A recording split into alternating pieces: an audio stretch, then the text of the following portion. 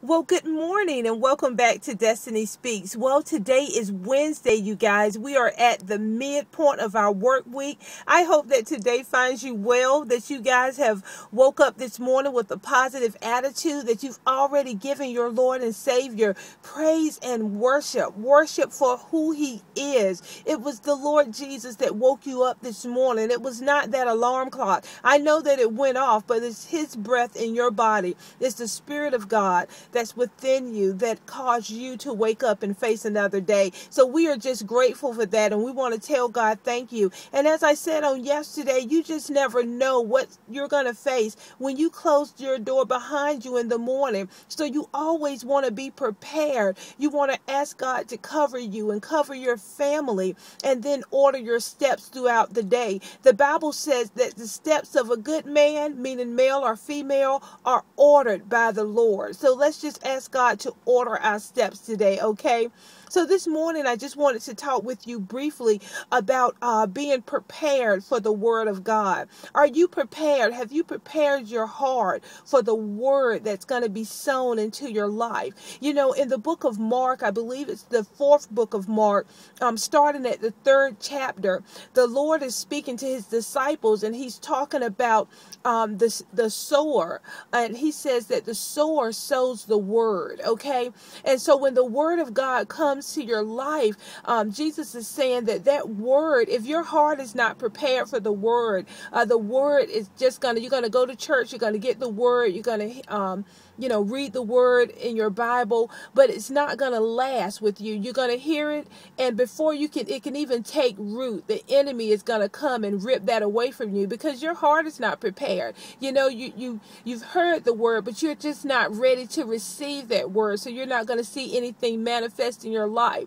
And then he said there'll be people who um, will hear the word and they'll be excited about the word, you know, but it's going to fall on stony ground, on a stony heart. So even though you've received that word, you know, by the time you get home, maybe even before you get home, you know, something's going to happen, you know, maybe um you didn't get a check the check in the mail that you were expecting or you found out some bad news. So now that word has left you because now you're you're focused on uh, the bad news that you got or you're saying well this isn't working for me. So the word never even takes root and then he says that some of the word that is sown is going to fall on ground that has roots and tares in there, okay? And it's going to, you're going to go with that word and you're going to be going along. You're going to be meditating on that word and believing God. But at the same time, there are disappointments and there are frustrations that's growing up along with that word. And you're going to start getting into worry. And now you're,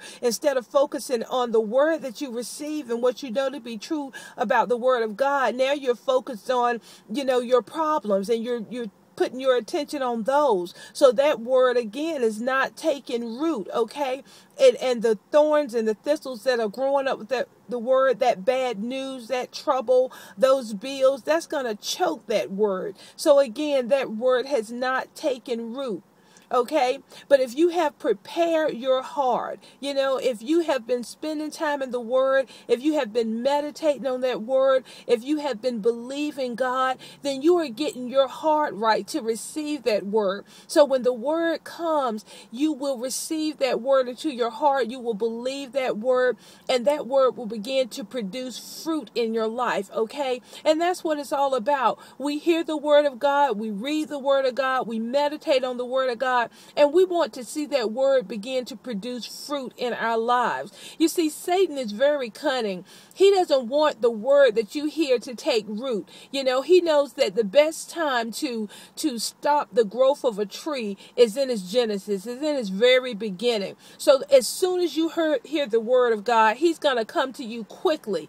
And he may not, you know, you may be a one that he gets in the beginning stages before the word even has time to to fall and nestle in your heart. He may get it right away. Or you may be that one where it falls on stony ground and, you know, you walk out of there hearing the word and you put your Bible down and you've read the word and but then something happens and you immediately start focusing on that and you forgot all about the word of God. Or you might be the one who, well, you're happy for a little while and you're meditating and you're going along and you're believing God for what his word said, but then you get caught up in the cares of the world, you know, and the frustrations of the world. And now you're, um, you know, your heart is hardening um, to the word that you've heard from God because you don't see anything manifest right away. Okay. So I don't know where you fall in where your seed is sown. But I know that if you don't prepare your heart to receive the word, then it's never going to take root. And something that has that you can't nothing can live without a root. If you don't have a root you know if you're a plant and you don't have a root then you're not going to grow and you certainly are not going to produce any fruit. So we just want to make sure that we have prepared our hearts to receive the word of god so that it can take root in our lives and so that we can produce fruit okay? You know at the beginning of this parable jesus starts out by saying hearken and behold. Hearken means to listen and behold means to look. He's saying, look and listen. And at the end of the parable, which is around verse 9, he's saying, He who has an ear, let him hear. Now, listen, we all have ears. So you, you have to understand that he's not talking about these physical ears that are attached to the side of your head. He's saying that he who has an ear, a spiritual ear. And some things you just have to catch in your spirit. You have to understand, as we talked about before, that there's more to this world to, than what we just see. That you have a spiritual world all around you. And that is where you have to take hold of this world, this word. Because if you are just looking at things with the natural eye, if you're just going by what you see, then that word will never take root. Because a lot of times life only shows us you know, a negative side. All we see is our bills. All we see is the doctor's report, you know, what people are saying about us. But we have to see with our spiritual eyes and we have to hear with our spiritual ears. So that's what he's talking about when he says, He who has an ear, let him hear. So hearken today. Behold today, look and listen with your spiritual eyes and with your spiritual ears. Hear the word of God. Meditate on the word of God. Listen, the word of God is true. God is not a man that he should lie. So when the word of God comes to you uh, through your bishop, through your pastor, through your reading and meditating on the word, that is word that you can take hold of. And you can use that word to begin to produce fruit in your life. No matter what it looks like, no matter what's going on around you, stay focused on the word. Stand on the word. The Bible says that heaven and earth will pass away. One day heaven and earth is going to pass away, but guess what? The word of God will remain. So you can take that to the bank, all right? Anyway, I love you guys. Just wanted to leave you um, with that word this morning. We're going to meditate on the word. We're not going to allow the enemy to come and steal that away from us. We believe God, okay? I love you guys. This has been Destahnee Speaks. Have an awesome day.